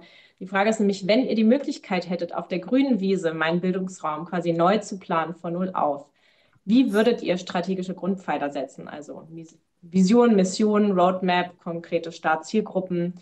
Ähm, was ist so jetzt vielleicht auch so nach der Beschäftigung was, was hättet ihr dafür Empfehlungen, falls es vielleicht einen Mein Bildungsraum 2.0 mal geben soll? Das möchtest du zuerst. Ja, ich versuche mal. Ähm, ich glaube, was ich auf jeden Fall anders hätte, wäre einfach diese Start- und Projektplanungsphase schon etwas verlängert und dort direkt die verschiedenen Bereiche mit einbezogen. Ähm, es hieß auch gerade, das Projekt sich sehr viel gewandelt hat am Anfang. Äh, es hat das dritte Name inzwischen und Inhalt wurde jetzt auch ein bisschen verändert. Also ich glaube, wir hätten einfach schon zu Beginn des Projekts einfach mit mehr mit Beteiligten gesprochen, einfach zu gucken, was das Projekt überhaupt sein soll am Ende. Ähm, um einfach da von allen die Sicht zu bekommen und einfach da ein gutes Ziel zu haben. Und dann auch während der Entwicklung halt dauerhafte Feedback-Schleifen mit Beteiligten einbauen, dass man da immer wieder Feedback bekommt und auch neue Ideen reinbekommt und einfach eine größere Beteiligung herstellt. Das wäre so mein struktureller Punkt, wie ich es anders machen würde. Ja, ich glaube, ich, also auf jeden Fall, so von dem ähm, ja, Herangehensweise, ich glaube halt vom Inhaltlichen, aber da gibt es ja auch die Konzeptstudie von Wikimedia, die da irgendwie nochmal so ein bisschen eine Utopie auch äh, oder ein 2.0 beschreibt. Also da würde ich äh, in die Richtung so gehen, dass man einfach nochmal grundsätzlich überlegt, wie, ne, was ist Bildung, äh, wie gesagt, äh, nicht in den letzten 100 Jahren gewesen, sondern wie definieren wir das in den nächsten 100 Jahren für uns als Gesellschaft. Ähm, was muss ich also in meinem Bildungsraum irgendwie erfahren? Dann sind das auch so Sachen wie, nicht irgendwie die, das 50. Zertifikat, Zertifikat bekommen, sondern zeigen, wo bin ich in was aktiv gewesen und wo habe ich äh, mich selber eingebracht und wie kann ich auch sowas abbilden. Ähm, und da vielleicht nochmal ja, sehr grundständig anfangen äh, mit, ja, am liebsten ähm, so jungen Menschen wie möglich äh, ihre, ihre Vorstellungen diskutieren äh, und entwickeln, wie stellt ihr euch Lernen vor, was bedeutet für euch Lernen, was, ähm, ja, wie geht es da auch weiter äh, aber natürlich auch ähm, auf, auf wissenschaftlicher Ebene viele äh, Bereiche einzubeziehen. Also da, genau, das, das muss ja gar nicht nur so ad hoc äh, mit, den, mit den Betroffenen sozusagen sein, sondern da gibt es ja auch ausreichend ähm, ja, wissenschaftliche Erkenntnisse, auf denen man, auf denen man äh, aufbauen kann. Aber das wäre mir wichtig, also würde ich auf jeden Fall sagen, wäre wär halt schön, wenn man da wirklich, äh, wie gesagt, nicht das aktuelle System irgendwie abbildet äh, und digital, sozusagen digital klont, sondern dass man wirklich überlegt, okay, was, was können wir ähm, anders machen? Und da würde ich strategisch den Fokus drauf setzen. Also was kann mein Bildungsraum leisten, was wir im Moment noch nicht haben, was noch fehlt. Vielleicht noch ganz kurz, und da hatten wir ja auch im Gespräch drüber gesprochen, weil ja auch wirklich sehr hinlänglich bekannt ist, welche Probleme wir äh, im Bildungssystem haben, ähm, die von denen man eigentlich nicht noch, die man nicht noch weiter mitnehmen sollte ins Digitale. Ja. Ähm, gibt es noch eine weitere Frage oder Anmerkung? Ja, ähm, zwei. Ähm, zum einen, also ich, ich bringe jetzt einfach gleich zwei rein. Das eine war nochmal eine Frage, ähm, Ihr habt zwar vorhin auch Volkshochschulen erwähnt, aber eine Person hat geschrieben, dass, äh, ne, ist jetzt auch, das jetzt auch nochmal gesagt, junge Leute involvieren. Eigentlich war das Projekt ja als lebenslanger Lernbegleiter gedacht. Das hattest, hattest du, Charlotte, vorhin ja auch erwähnt. Und äh, so die Frage genau, was, was ist eigentlich mit der, mit der Erwachsenenbildung oder was ist eigentlich dann bezogen auf lebenslanges Lernen? Wo, wo ist diese Zielgruppe eigentlich oder wo wird die adressiert? Ähm, genau. Und äh, das andere muss ich mir gleich in äh, in Ruhe nochmal durchlesen, was hier reinkommt. Und dann kam nochmal die Nachfrage, ähm, wie ihr jetzt, also wenn ihr jetzt auf meinen Bildungsraum schaut, ähm, inwiefern habt ihr denn das Gefühl, dass das, also was war das Ziel von meinem Bildungsraum ähm, oder was habt ihr da verstanden und inwiefern wird es eigentlich aktuell eingelöst oder genau, also wo, wo steht dieses Projekt gerade da aus eurer Sicht? Ja, ähm, ich kann äh, genau kurz zur letzten Frage. Also wie gesagt, es ging darum, Zugang zu Bildung zu erleichtern. Und äh, aus meiner Sicht ist es jetzt einfach gerade ein bisschen ähm, ja sehr, sehr abgespeckt, ne, auf dieses, wie kann ich mich auch digital irgendwo bewerben ähm, oder ein Zertifikat irgendwie nochmal äh, äh, ähm, ja, stempeln lassen. Ähm, was, was natürlich genau gar nicht das war, womit, also was so die grundständige oder erste Idee war. Ähm, und den anderen, die andere Frage, auch Erwachsenenbildung oder lebenslang Lernende, ja, aus meiner Sicht wurden die nicht ausreichend berücksichtigt oder einbezogen. Ne? Also da äh, war, wie gesagt, eher über die Player, die Angebote für diese Zielgruppe erstellen. Die, so war meine Wahrnehmung, wurden durchaus, wie, wie gesagt, aber auch hauptsächlich auf technischer Ebene äh, beteiligt, dass man guckt, okay, wie können wir das technisch abbilden und bauen, äh, damit alle da gut integriert werden können. In dem Zusammenhang finde ich eigentlich auch zum Thema äh, Zugang nochmal das, äh, ne, den Bereich äh, Finanzierung auch relevant. Also wir haben, sprechen jetzt viel über den technischen Zugang und äh, das, ne, inwiefern können die BildungsanbieterInnen und ob die jetzt Open Source oder besonders große sind, äh, sich dort positionieren. Aber inwiefern sind auch die Endnutzenden dann wieder haben die wirklich Zugang? Also das ist ja nicht dadurch äh, erledigt, dass man weiß, okay, hier kann ich mir eine Weiterbildung für 1000 Euro kaufen.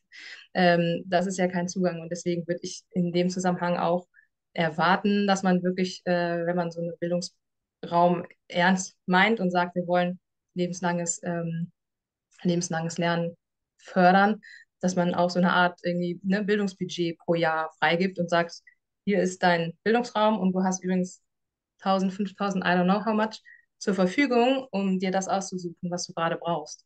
Weil sonst sind wir auch wieder in dem nur kopieren, äh, dass, dass, dass ähm, finanzielle Möglichkeiten, Bildungsbiografien äh, definieren und da müssen wir halt weg. Finde ich eine sehr schöne Idee mit diesem Budget, was man praktisch hat, jedes Jahr äh, auch gerade den Zugang sicherzustellen. Also das finde ich eine sehr schöne Idee. Äh,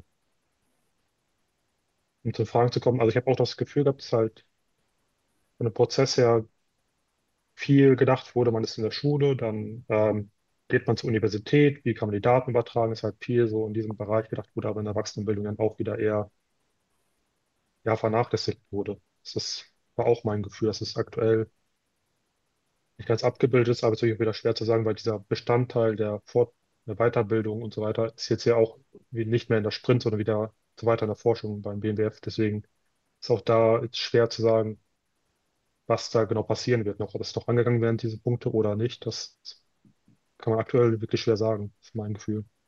Hm.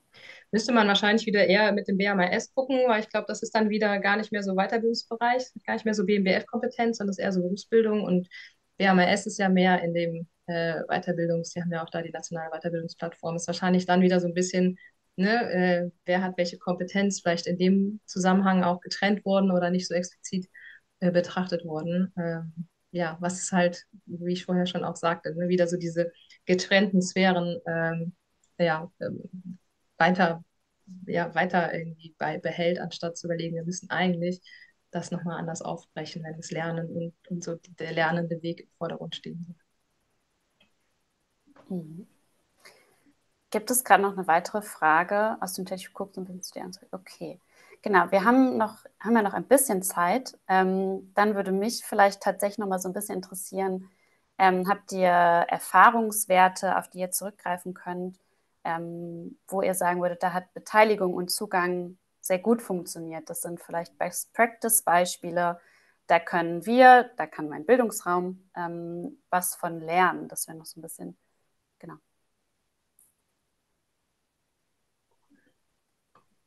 Wer mag zuerst Aber das denn vielleicht? Genau, ähm, du hast ja gerade schon gesagt, dass ich aus dem Univis-Projekt damals äh, zum Thema Barrierefreiheit kam. Und tatsächlich nehme ich das jetzt ein Beispiel für gute Beteiligung, weil ähm, oftmals kaufen Universitäten praktisch Software oder Apps ein bei großen Unternehmen. Und bei dieser App wurde es genau andersrum gemacht. Es wird gesagt, wir haben Studierende, die Informatik studieren, die können entwickeln, die haben Spaß daran. Also praktisch ein Projekt ausgeschrieben, wo dann praktisch Studierende gegeneinander angetreten sind, es zu äh, entwickeln. Und die haben praktisch diese App entwickelt dann und wurden auch dann weiter beschäftigt nachher, um die App zu Feinschliff zu machen, zu veröffentlichen. Und das ist natürlich eine gute Beteiligung, weil es nicht einfach eine dritte Firma beauftragt wurde, was zu machen, wie dann die ja, Universitätsleitung oder wer auch immer es haben möchte. Und wirklich die Nutzer, die nachher App nutzen, die haben sie entwickelt. Das heißt, sie wissen auch direkt, was ihre Bedarfe sind und haben sie direkt umgesetzt. Und so ein Vorgehen ist meiner Meinung nach ein sehr gutes, weil dadurch halt die Nutzer direkt beteiligt werden. Die Studierenden brauchen auch Jobs ähm, und haben auch direkt die Möglichkeit, dort eine Stelle zu bekommen. Und ja, man ist halt direkt so nah dran an den Bedarfen, wie es nur geht. Und es hat natürlich auch Nachteile, natürlich ist die Entwicklung länger dadurch aber auch viele Vorteile, einfach bessere Beteiligung, aber auch kosteneffizienter. Also da würde ich sagen, ist aber so ein gutes Beispiel, wie man beteiligt. Und wirklich sagt, man lässt die Leute selber machen, die da die Bedarfe haben, wenn sie die Qualifikation dafür auch haben. Mhm. Ja. Ja, ich finde nochmal insgesamt ist halt so der ganze Open Education oder Open Whatever Bereich ist ja erstmal ein gutes Beispiel für Beteiligung, für kollaboratives Arbeiten. So, also da glaube ich, kann man sich immer wieder nochmal gut Sachen äh, angucken. Äh, ansonsten fand ich, wie gesagt, irgendwie in der Theorie auch digitalen Bildungsraum oder nationale Bildungsplattform erstmal ein, irgendwie klang auch so nach Best Practice, ne? Also dass man sagt, so wir wollen alle einziehen und so weiter. Und auch von der Theorie, dass man sagt, wir gehen auf Veranstaltungen so, also und sind in Webinaren und haben ne, Feedbackbogen und so. Also das das finde ich in, in der Grundlage äh, durchaus ist es schon mal ein guter Standard auch für äh, öffentlich geförderte Projekte. Ähm, ist, also ist ja auch selbst das nicht der Standard. Ne? Also das, das muss man ja auch nochmal sagen. Und da finde ich, ähm, haben die schon auch gute, äh, erstmal gute Schritte gewagt. Ist, wie gesagt, aus meiner Sicht dann eher ein bisschen in der, in der Theorie geblieben oder die Praxis war halt nicht so stark, wie man, wie man sich gewünscht hat, ne? weil man auch, ja, dann kommen Ergebnisse nochmal in, in die Evaluation ne? und werden da nochmal besprochen, aber haben in dem Sinne keinen keinen Einfluss mehr auf, auf das Ergebnis. Also da ist ein bisschen, ne, Hauptsache der Prozess stimmt, ähm, aber ob wir am Ende ein gutes Produkt haben, war dann so ein bisschen, wirkte ein bisschen, ähm, ja, ein bisschen nach, äh, nachrangig. Ähm, und deswegen, ja, habe ich sonst, wie gesagt, da die Bürgerräte, die Moment ja auch äh, laufen, beziehungsweise letztes Jahr, glaube ich, gar nicht mehr zustande gekommen, finde ich ein gutes Beispiel äh, zur Beteiligung. Also, dass man wirklich nochmal dieses, dieses Losverfahren einfach hat, weil man dann eine überschaubare Gruppe zumindest hat, mit der man arbeiten kann.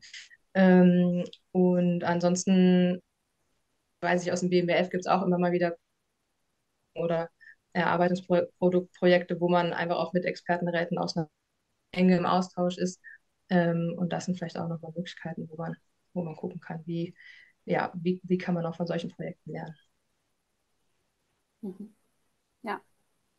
Ähm, ich finde auch, dass beides eigentlich oder alle Aspekte, die ihr gerade genannt habt, ähm, ja auch sehr dazu beitragen können, dass es äh, wirksame Beteiligung ist. Ähm, denn genau das ist vielleicht, oder ist auch für uns immer mal so ein Thema, ähm, genau, wie, wie kann denn sichergestellt werden, dass es, wirk dass es wirklich wirk wirksam ist und dass es nicht so eine Art Beteiligungstheater in Anführungsstrichen gibt, was ja dann wiederum einen sehr negativen Effekt haben kann, wenn dann vielleicht die vermeintlich Beteiligten das Gefühl haben, sie wurden gar nicht gehört.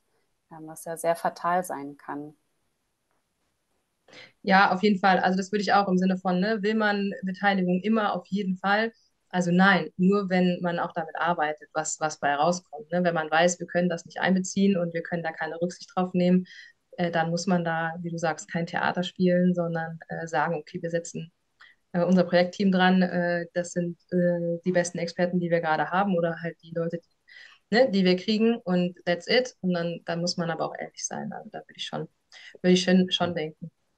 Auf der anderen Seite sind ja auch hier äh, das, das technische Wünsche-Team bei Wikimedia ist ja auch, dass man da einfach grundsätzlich überall immer nochmal so ein, ja, so ein Ticketsystem einbaut. Hier kannst du deine Beschwerden lassen und dann kann man sicherlich, ne, das hat es ja vorhin gesagt, entweder eine Million oder ein Problem lösen, aber wenn dann von den technischen Wünschen irgendwie fünf gelöst werden, das ist dann nicht dieses eine Million Ding, aber fünf kleine, äh, dann wäre das ja auch schon mal so ein kleiner, ähm, ja, kleiner kleine Verbesserung hinsichtlich, okay, wir, wir, wir, wir geben zumindest das, was wir haben. Ne?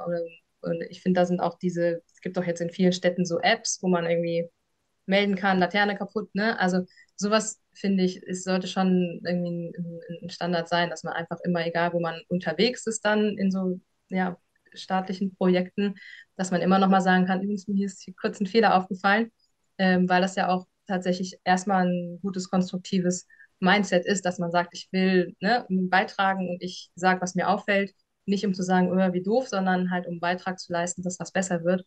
Und dafür sollte man einfach äh, ja Möglichkeit, also das, was man möglich machen kann, auf jeden Fall ähm, ja allen die äh, eröffnen. Ja, das passt vielleicht auch noch zu einer Frage. Ähm, genau, du hast jetzt ja auch schon gesprochen vom Team Technische Wünsche bei Wikimedia. Ähm, und da sind wir ja bei dieser Anforderung gemeinschaftliches Verwalten und Erneuern. Also sind jetzt wirklich sehr in der Zukunft. Ähm, wie kann man denn langfristig sicherstellen, dass Beteiligung stattfindet? Weil auch angenommen, ein Bildungsraum ist, dann ist irgendwann online verfügbar ähm, und es wird genutzt, ähm, sollte es ja nicht da stehen bleiben, sondern gerade angesichts dessen, dass ja zwei auch in unseren Augen zentrale Komponenten aktuell nicht weiterentwickelt werden von der Sprint. Ähm, genau, also was kann man tun, damit auch ja, langfristig sichergestellt wird, dass dieses Produkt ähm, ja, weiterentwickelt wird und am Zahn der Zeit bleibt, also am, vor allen Dingen an den Bedürfnissen der Nutzenden. Ähm, das denn? Vielleicht hast du da auch aus der Softwareentwicklung ähm, Tipps. Ähm, ja, auf jeden Fall dieses einfach ein Ticketsystem machen wir schon mal für guter erster Schritt. Also einfach, dass jeder einfach eine Möglichkeit hat, sich direkt zu melden. Ähm, aber ja, ansonsten, ja, ich glaube, da gibt es sehr viele Möglichkeiten, dass man das machen könnte. Ähm, ähm, gerade, dass man, auch dass sie diese Bürgerrating wie Gruppenbild, die einfach immer einen Blick drauf haben, da gibt es viele Möglichkeiten, die man einsetzen könnte dafür. Muss man gucken, was dann für dieses Projekt das Beste wäre. Ähm, vielleicht, Charlotte, hast du da mehr Ideen zu?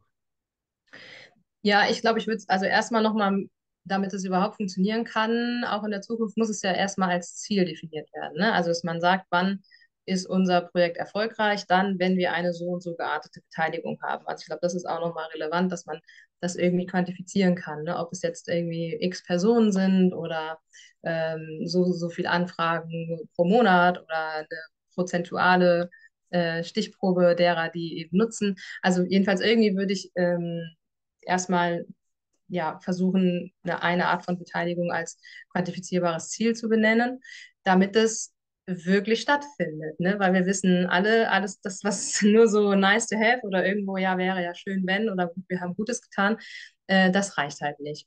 Und dann, äh, genau, wie das schon sagte, so ein Ticketsystem auf einer super einfachen Basis würde ich, äh, würde ich, also meine Erwartung, aber da habe ich die technischen Details nicht, kann nicht so kompliziert sein. Ähm, und, und dann, genau, ähm, finde ich. Also Projekte, die sich wirklich Beteiligung in der DNA haben, die kriegen das auch hin. Ne? Also ich bin zum Beispiel äh, Mitglied hier bei Krautreporter und die wollen auch immer ganz nah bei ihren Mitgliederinnen, Mitgliederinnen sorry, ähm, sein. Ähm, und dann haben die halt ständig irgendwelche Umfragen. Wenn es nur so ne, ein Fünf-Sterne-Rating ist, wie fandest du das? Oder hier, wir haben was Neues ausprobiert, äh, gib uns mal schnell Feedback. Also das können einfach so kleine Interviews sein oder welche Themen sind relevant oder was äh, suchst du heute, auf was hast du heute gesucht? Das weiß man auch, weil man die Suche auswerten kann. Aber also ihr wisst, was ich meine, halt so ganz niedrigschwellige Fragen, wo man einfach merkt, hey, immer wenn ich da bin, werde ich was gefragt, ne? Oder wird meine Meinung eingeholt. Ähm, und dass, dass da halt auch dieses Gefühl entsteht, äh, ich bin da nicht nur, ähm, ja, diese, diese eine Nutzer, Nutzerin äh, heute in, in diesem digitalen Raum, sondern irgendwie wurde ich auch noch als, als Mensch mit Gehirn wahrgenommen und, äh, und irgendwie auch wertgeschätzt, dass ich Zeit auf der Plattform verbracht habe. Äh, und ich glaube, da kann man durch relativ einfache oder so, ne, so Pop-up-Befragungen äh, einfach nochmal äh, Leute wirklich nerven, ja, aber damit auch dran gewöhnen. Wie gesagt, äh, ist, natürlich, Beteiligung ist ja auch anstrengend. Also es muss ja auch jemand dann Zeit und Nerven dafür haben und sich äh, nochmal Gedanken machen und eine Antwort ausspulen. Ähm, und damit aber, wie gesagt, irgendwie nerven und dann damit dran gewöhnen, okay, hier werde ich irgendwie gehört. Ähm, aber klar, alles unter diesem Vorbehalt, dass dann auch was davon umgesetzt werden kann. Ja. Okay. Wir nähern uns langsam dem Ende unserer Veranstaltung. Ähm, ich möchte euch aber nochmal die Möglichkeit geben, wenn ihr sagt, ihr habt eigentlich schon das gesagt, was ihr heute gerne sagen wolltet, auch super. Wenn ihr aber sagt, ihr möchtet nochmal, genau, ähm, irgendwas loswerden, was wir jetzt noch nicht besprochen haben oder auch sehr, sehr spannend, ähm, was, was erwartet ihr vielleicht von meinem Bildungsraum? Wie, genau, welche Entwicklung erwartet ihr oder würdet ihr euch wünschen? Ähm, genau, vielleicht nochmal zum Abschluss. Also, ja. Soll ich das denn? Und ruhig an. Okay. Ähm, ja, also auf der einen Seite bin ich tatsächlich ein bisschen skeptisch, wie sich es noch entwickeln wird. Ich habe ähm, so ein bisschen Zweifel, dass sich das äh, langfristig durchsetzt. Auf der anderen Seite, gerade so mit Bildungs-, ähm, äh, Regierungsumstrukturierung und so, vielleicht war es auch die strategisch beste Entscheidung, das der Sprint zu geben, weil es da irgendwie vielleicht nicht mehr so politisch äh, ähm, ja, gestritten wird oder so. Ich, das weiß ich nicht. Ähm, aber ich glaube, dass ähm, ja, grundsätzlich die, auch die, Zusammenarbeit mit den Ländern und so ein bisschen zu kurz gekommen ist, um sich da langfristig wirklich durchzusetzen. Und ich finde, wenn man es eben auch mit anderen Projekten vergleicht, die, die Zielgruppe ist halt so diffus, das ist so riesig, weil es sind irgendwie alle lebenslang Lernende, das sind wir alle. Ähm, und ich glaube, da äh, hat man sich irgendwie am Anfang auch ein bisschen zu viel vorgenommen und ist dann so an der Größe vielleicht auch gescheitert, weil man kann nicht äh, mit dem Budget in so und so vielen Jahren ein Produkt für alle Lernenden in Deutschland entwickeln. Also das würde ich sagen, wäre dann eher vom Anfang an irgendwie zum Scheitern verurteilt gewesen. Und deswegen würde ich denken, ne, wenn man es nochmal irgendwie retten kann, dann eher, dass man nochmal überlegt, wie gesagt, welche Zielgruppe braucht es am meisten. Äh, ich finde, wie gesagt, da äh, wäre im, im Bereich irgendwie eingewanderter, geflüchteter Menschen, wie können die Bildung, Zugang zu Bildung erhalten in Deutschland, wie kann der Bildungs- äh, oder mein Bildungsraum da äh, eine Schnittstelle bilden, das fände ich, wäre wär aus meiner Sicht halt so das Wichtigste, wo, wo man nochmal eine Antwort braucht und wo vielleicht noch Potenzial wäre. Ja, danke schön. Ja, ich mag auch keine Prognose aufstellen. Äh, das ist doch zu undurchsichtig und wird zu wenig darüber kommuniziert. Ähm, aber was ich mir wünschen würde, wäre auf jeden Fall, dass, ähm, dass einfach die Barrierefreiheit einfach ganzheitlicher gedacht wird. Nicht einfach in dem Rahmen dieser Plattform und nicht darüber hinaus. Dass einfach gesagt wird, hey, Universitäten und Schulen sind verpflichtet, Sachen barrierefrei zu machen. Die müssen auch barrierefrei in diese Plattform bringen. Einfach da, wo schon Verantwortungen, gesetzliche Anforderungen sind, dass auch die in der Plattform äh, umgesetzt werden und auch weiter gedacht wird, wo man auch darüber hinausgehen kann. Und ja, ja, gerade dieses über die Plattform hinausdenken, das ist gerade so dieser zentrale Punkt, dass man weiterdenkt und das wäre sehr wichtig für mich und dann auch dann, würde ich gesagt, an die Nutzer und verschiedenen Gruppen einfach beteiligt man einfach da, da deren Feedback einhört. Das wäre für mich sehr, sehr wichtig. Mhm. Ja. Okay, dann würde ich sagen, ich lasse es mal dabei stehen. Ähm, wir werden das weiter beobachten, ähm, was, was jetzt passiert, was sich bei der Sprint entwickelt, ähm, aber natürlich auch sonst, was politisch und bildungspolitisch äh, passiert. Das ist ja aufregend, kann man gerade mal, kann man so sagen. Ähm, genau, ich möchte mich bei euch beiden ganz herzlich bedanken für eure Expertise äh, heute in der Diskussion, aber auch in der Analyse und möchte auch nochmal ein Dankeschön aussprechen an ähm, alle anderen ExpertInnen, die mit uns diese Analyse durchgeführt haben. Ähm, ich möchte mich auch bedanken bei allen, die heute zugehört haben. Ähm, genau, wir laden ganz herzlich dazu ein, äh, sich die Analyse mal zu Gemüte zu führen und uns auch im Nachgang Fragen zu stellen, wenn Fragen aufkommen oder uns auch anzusprechen, wenn es Anmerkungen gibt oder Widerspruch. Ähm, genau, da sind wir total offen und interessiert an weiterem Dialog.